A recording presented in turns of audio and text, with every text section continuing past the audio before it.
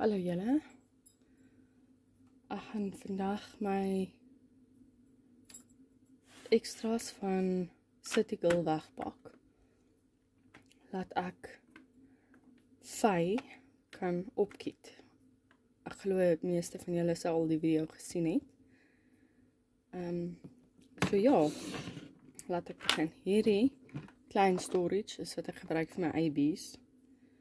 Maar ek het dit aan die begin eintlik gekoop om my ekstras in te bær wat nie uitgewerk het nie.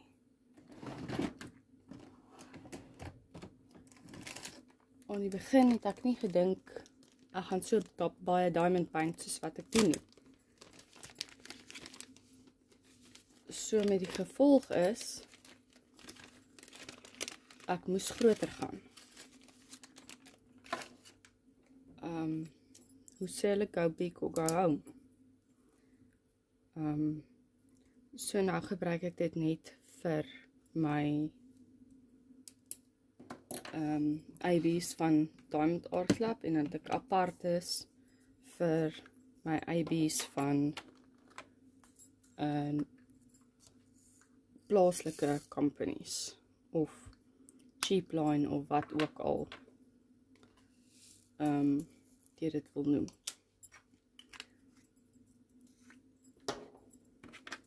In my vorige video het ek gesê van die rotgif.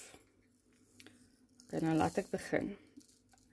Ek het so rukkie terug, seker so 'n uh, week of twee terug toe ek begin het om uh City Girl klaar te te weer te doen en klaar te maak vir die Hanathon het ek my Heaven and Earth design het hier op my tafel gelê hier so agter opgerol. En my tafel was bietjie vol en goed en ek besluit toe nee, ek gaan nou die middag alles van my tafel afhaal, wegpak, skoonmaak, die hele hoeks. Toe sit my kinders hier op die bank. Dit was load shedding, so ons het ek het my man se ehm um, sy battery pack wat eintlik gemaak is dat hy trekkers kan jump gebruik vir my ligte. En ek het 'n liggie aan en ek is hier besig. En ek toe ek weer kyk, toe is meneer Rot in my diamond painting. Ek het hom opgetel, die diamond painting opgelig om sy klips wat ek gebruik het af te haal en ehm um, dit in die tube te kan bær. Daar kry ek 'n verrassing. Hier spring die rot uit. Maar kyk, ek het nie mooi woorde gespreek nie of dit was ook nie lelikie, maar dit was nie eintlik my kinders het gedink natuurlik dit is baie snaaks. Alhoewel ek nie gedink het dit is so snaaks dat daar 'n rot uit my goed uitklim. Maar ja, hier gaan ons nou soek ons hierdie rot. Hy's weg.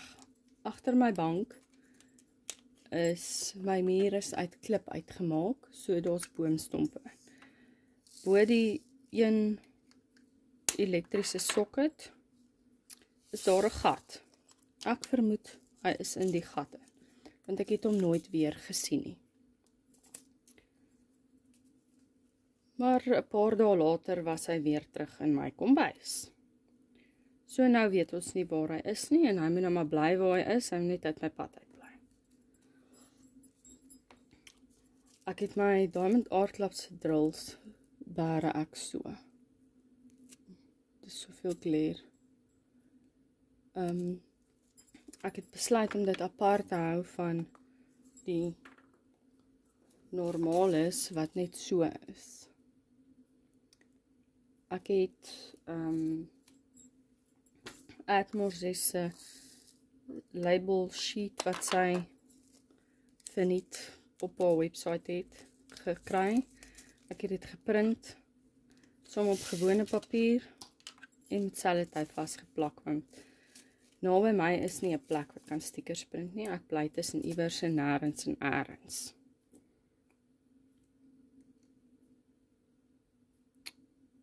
Nou dat ek daarna kyk, ek het nie hierdie goed in volgorde gesit nie. So ek gaan nie vir op en af en op en af gaan en nie weet wat ek doen nie. Iewers gaan ek myself verloor. Ek kyk altyd almal se video's dan dan sê ek van ja, ek doen dit tog so en nou vandag wat ek nou 'n video wil maak, doen ek dit nou glad nie so nie. Ek het hierdie Elizabeth Ward het ek by Craft Buddies op special gekoop. Ek sien hulle is nog steeds op special. Maar ek gaan nie nog eene koop nie. Ek wil baie graag, maar ek gaan nie. Ek het reeds 3.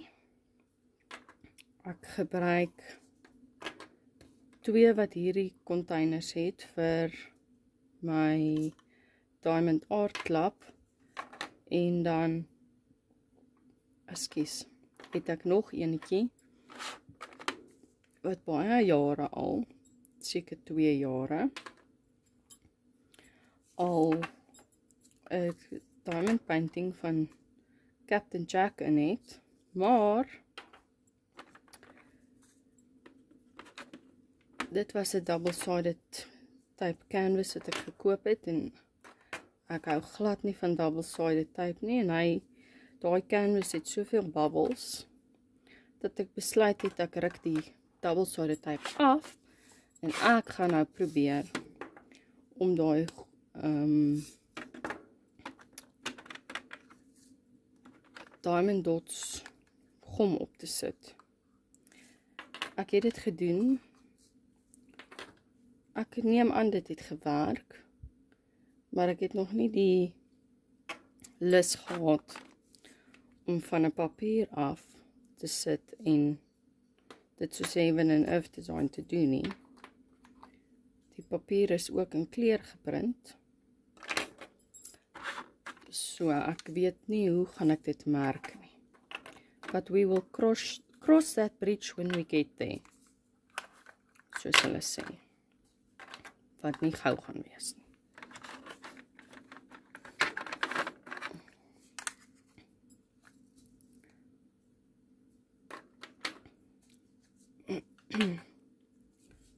Seerhonderd, daar sy. Hierdie oukies op hulle plekke sit.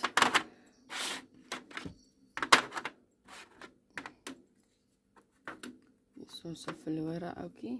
Ek het sommer daar gaan. Ek hou daarvan om myne te bære soos wat ek hulle gekry het. Dis kry net een van Marna se voetjies om die goed wat verlore raak terug te sit of een kant te sit. Ek hoop julle kan sien wat ek hier aanvang.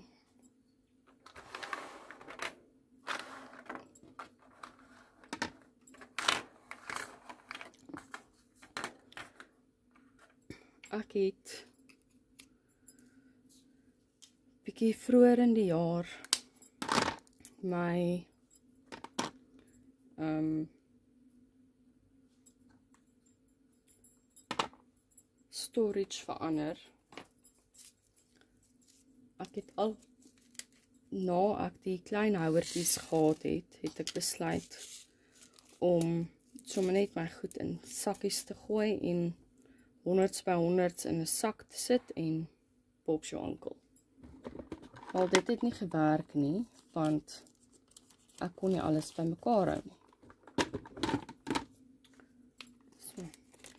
Ek het Diamond Art Club se ehm um, toolkit sakkies gevat. Soos julle kan sien, my swart is verskriklik baie en ek hierdie was van 3 diamond paintings.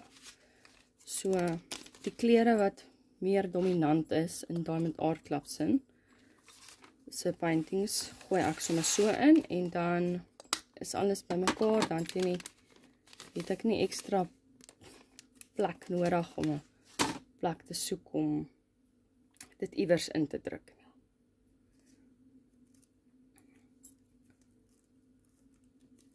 Terug na die ding van my storage. Ek wou bitter graag die bokse gehad het wat almal het soos Tanya se wat bitter mooi is en so aan, maar ek het toe nou nie dit gehad nie. Ek het nie die kapitaal gehad om dit te koop nie en ek weet ook nie eintlik waar. So toe ek moes my gaan sakkies koop want my sakkies was klaar. Um, Toe gaan ek Westpac Lifestyle toe. Ek loop daar aan hulle aisle af. En ek sien, okay, hier's iets wat ek kan gebruik. En dis hoe ek toe ek dit gekoop het. Ek het net twee gekoop om mee te begin. Ek sal wel nog een moet koop want hierdie is my rond. En dan gaan my rondes tot hier my groot pakke en my squares begin hier agter en daai ry en daar's nie meer plek nie. So ek sal nog eene koop later van tyd wanneer ek weer eendag in die dorp kom. Ek gaan nie baie dorp toe nie. Um, dit kos net te duur en dan wil mense alles hê wat jy sien. En jy het nie altyd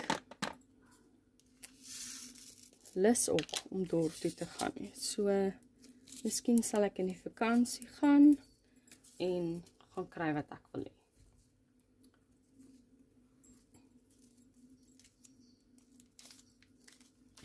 Ek gaan nou maar 'n bietjie vir julle vertel van hoe ek begin het om te diamond paint want ek sien hierdie gaan 'n hele rukkie vat. My skoonma het 'n vriendin wat hierdie begin doen het in 2020 dink ek. Toe sê my skoonma se vriendin sy het die ekstra een klaar opgekiet, 'n paar drolls opgesit om te wys hoe mense doen en so wil sy dit nie probeer nie. My skoonma is nie into sulke goed nie, glad nie. Sy sal met haar klein kinders speel. Maar sy is nie een vir hierdie. In 'n geval toe sê my skoonma, "Oké, okay, dankie." Sy sal dit vat. Um, my skoonsussie was dink in universiteit nog. So sy het nie tyd vir sulke dinge nie. My skoonsussie is te my ander skoonsussie is te besig vir sulke goed. En toe sê sy, toe gee sy dit vir my en sê ek moet dit asseblief klaarmaak. Die tannie wil sien hoe dit lyk. Ek sê toe, "Oké. Okay, ek sal dit doen, dankie." En dis waar dit begin het. Ek het toe my eie klompie gekoop. Daai tyd 2020 was hulle nog duur want ehm um, Suid-Afrika was nie het nie regtig dit gehad nie. So dit wat dit was, die van julle wat Diamond Dot weet, toe was dit nog duur. So ons het op vakansie gegaan pre-COVID. En ons het vakansie gehou. 'n Week of so voor lockdown het ons teruggekom. Toe ek besluit ek laat ek nou hierdie ding begin doen, dat die tannie dit kan die resultate sien.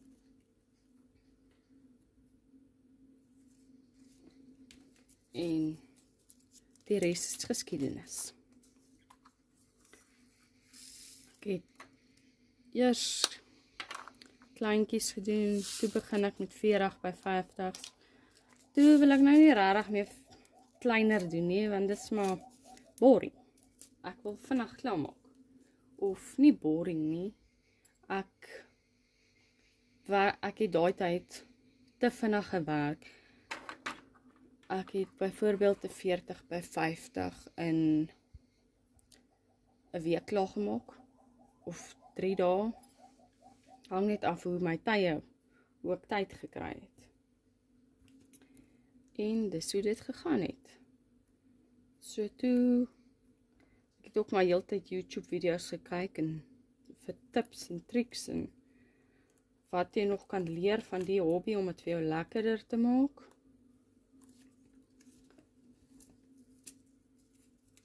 Toe het die accessory gogga my gebyt.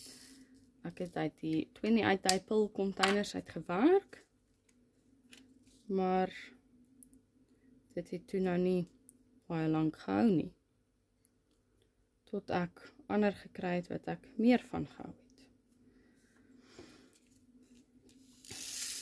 Ek het vir my man vir sy verjaarsdag die swart koeis met die swart agtergrond die lang ene gekoop. En toe besluit ek okay, maar hier gaan ek nie, dis vreeslik baie swart, dit gaan met my oë speel. Ek sal moet 'n plan maak. OK, koop 'n light pad. En 'n groot wit trei, want dis baie dots. OK. Hierdie pink pen gaan nie vir my werk nie. Koop 5 penne by Craft Buddies. Sommige so op die eerste slag, 5. Weet nie of ons daarvan gaan hou nie, maar ons koop 5. So het dit aangegaan. En nou het ek al penne van Simonai af en ek het 'n trei van Marna af en ja dit die dis nie net diamond painting. Mens hou maar van die storage ook nê en die accessories wat daarbey saamgaan.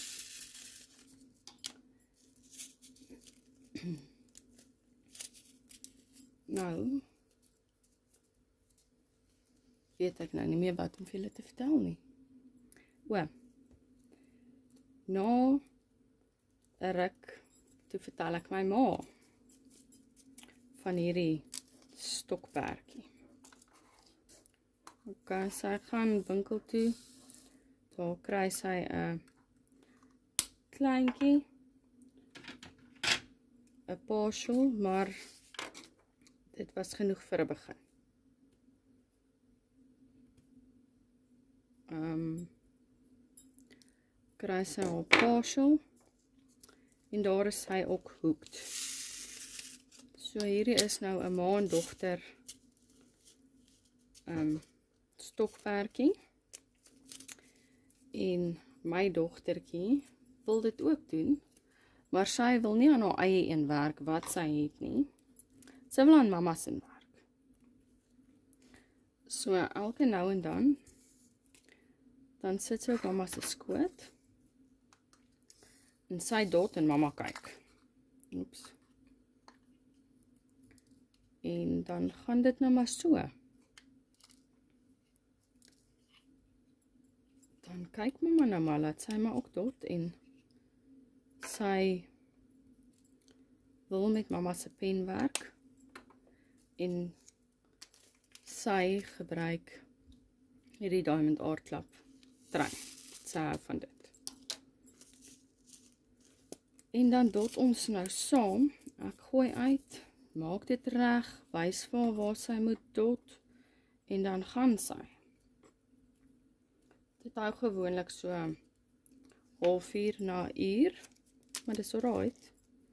Dan is sy nou klaar. Mm, gona. Dan wil sy nou nie meer. Dit sê ek vir dis reg, gaan speel maar En dan later kom sy terug, nee, sy wil weer. Dan gee ek dit vir haar so 'n bietjie waarmee met die pen wat ek nie besig is. En dan tot sy weer 'n bietjie en sy gaan.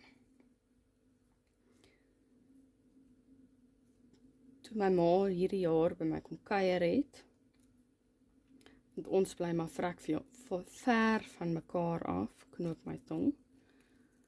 Het ek het vir diamond paintings bestel saam met my goed wat ek bestel het. En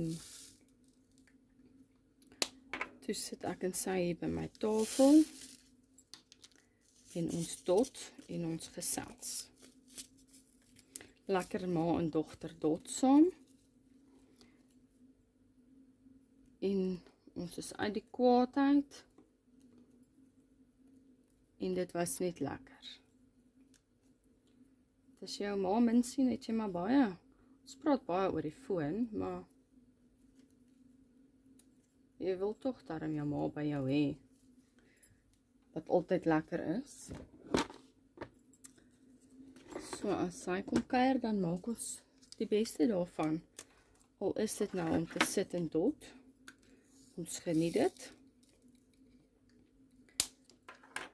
En ja, ek nou gedoen. Ek het ehm um, toe ek hierdie opgestel het, het ek klaar my sakkies vir ehm um, City Girl ook ingesit want nie al die kleure van Diamond Art Club van die rondes is hier in nie, ook nie die vierkante nie. Maar ek sien ek het so paar gemis. So hulle sakkies sal ek dan nou later maak. Want ek glo nie een van julle wil hoor hoe sellotape kraas in mense ore.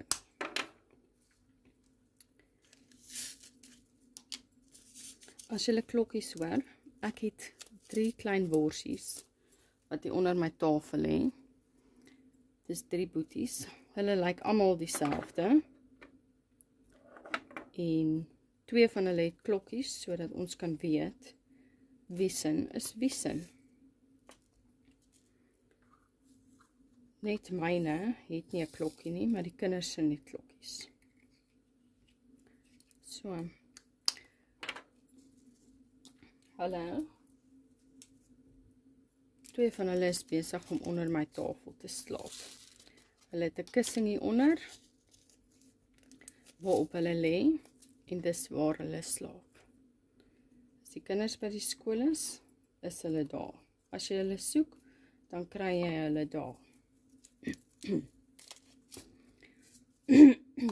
Verskoon tog. Hulle laaf dit hier onder my tafel.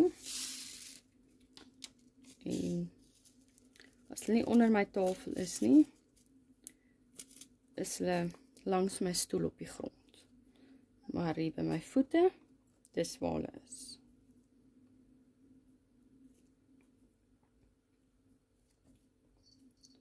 Ek sien nie loop die derde een het ook nou net hier ingekom.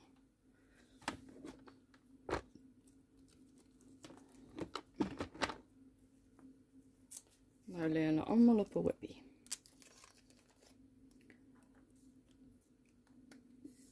As jy gewonder het my speers is baie kleurvol. Ek het by my ma 'n klomp ou kartonne en ehm um, file dividers en goed gekry. Nou het ek strooi aangejaag.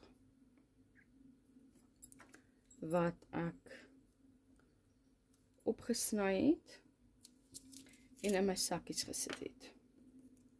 So. Vir dit wat ek gekort het, ek het gaan ekstra koop. En dan die klere tussenin, het ek 'n stukkie karboks gevat, ook 'n file divider gesny en die opgeplak en gedesifiks. En die middelstes het ek my kind se skool geskenkpapier gevat en dit gerap dat dit bietjie mooi lyk. So my dots of my spears is baie kleurvol. En ek ek hou daarvan. Dis bietjie kleur in die negatiewe wêreld waarin ons lewe.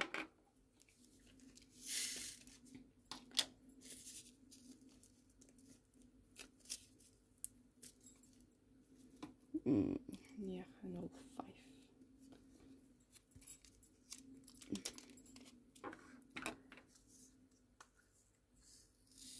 Ek is sal wanneer Tanya weer uh,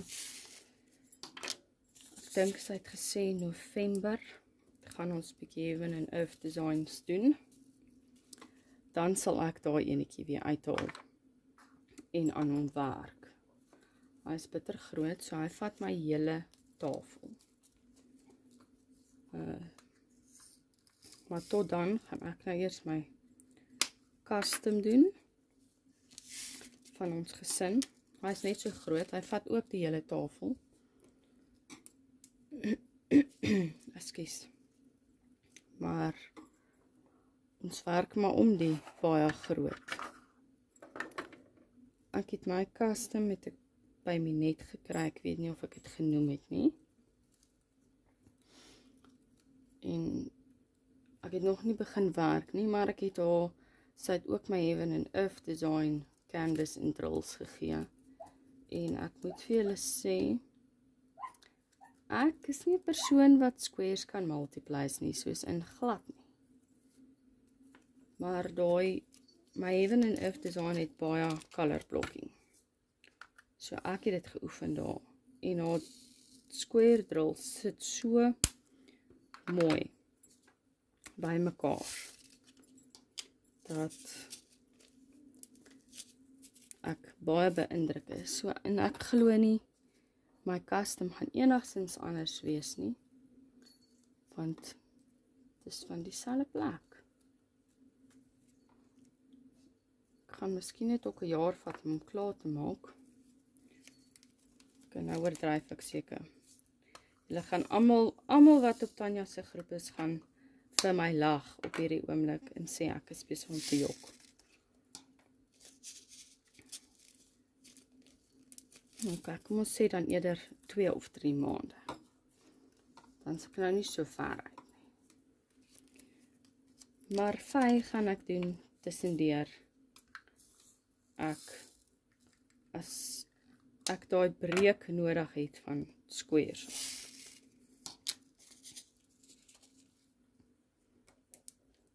Ek het nie regtig nuus nie, behalwe dat dit vrak warm is. Ons bly dis kandeel.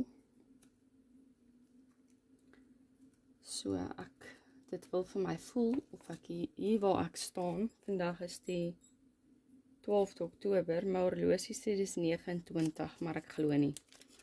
Ek dink dit is baie warmer as 29. En hierdie ding is nie lekker nie. Hy val die hele tyd uit. Gelukkig daarom nie as hy stil lê met niks in nie. Of met iets in nie, moet ek eerder sê.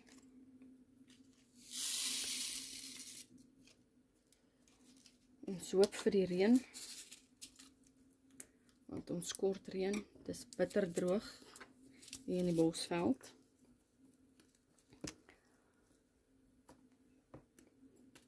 En as ons nie gou reën kry nie, dan skies, weet ek nie wat ons gaan doen nie. 6. Alhoewel ek ook nou moet sê, as mens aardappels oes wil jy nou nie eintlik reën hê nie. Maar dit kan maar kom. Ons werk deur die modder.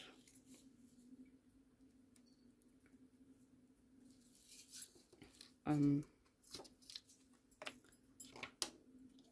dat hierdie hitte net bietjie kan breek. Ons het al die somer is nog nie baie lank aan nie. Maar ons het al in die 40s gedraai.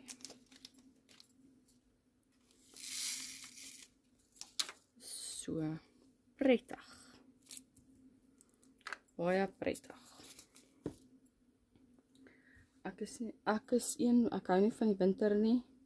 En dan moet jy la en la en la aantrek. Ek hou nie van die somer nie want dit is te warm. Maar ek verkies die winter bo die somer want as jy moet jy kan aantrek is maklik om warm te word. Maar jy kan nie altyd uittrek om koeler te kry nie.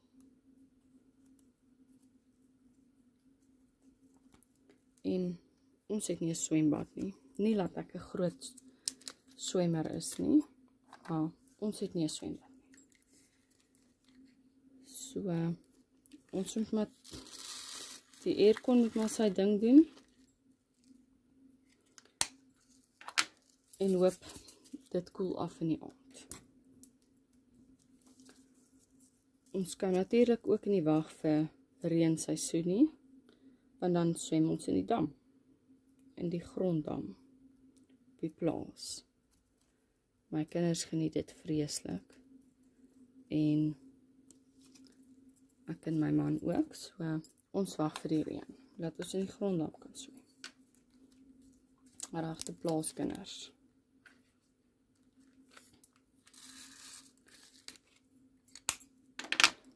ek is nou amper klaar hierso. As ek klaar is om hierdie paartjies weg te pak, dan gaan ek vir julle eers tot sien sê en ek gaan al die stikertjies aftrek en pere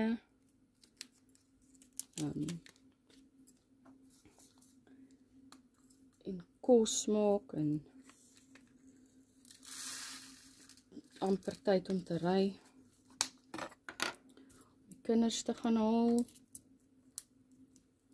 En dan is daar 'n verrassing vir my by Pudo. Wat ek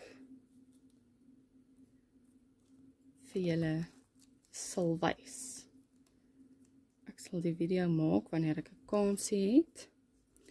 En dan sal ek dit ook iewerster oplaai.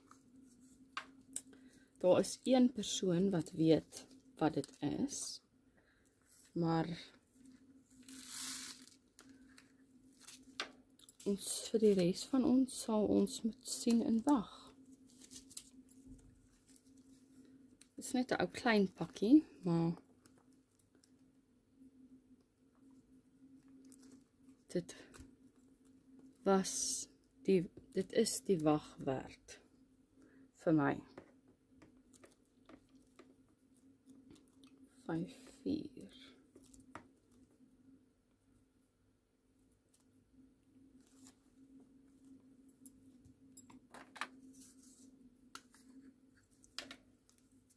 Miskien moet ek die sakkie oopmaak voor ek iets daar wil ingooi.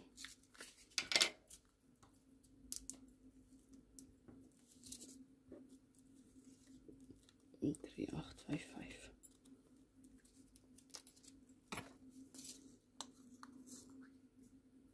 Ek kyk nie eers of jy kan sien wat ek doen nie. Ek neem net so aan. my diamond art club se ander kleur wat ook in 'n groot sak is is die 3865. Hy was ook in 3 van al my paintings wat ek 3 van die 4 wat ek al gedoen het van hulle. So ek bære hulle sommer net so dan is dit bietjie makliker. Hy goed wil nie terug inpas nie. So ja. Maar dankie dat julle saam met my gekyk het. En ek hoop julle geniet die video's. Mag julle almal 'n lekker dag verder hê en 'n lekker week.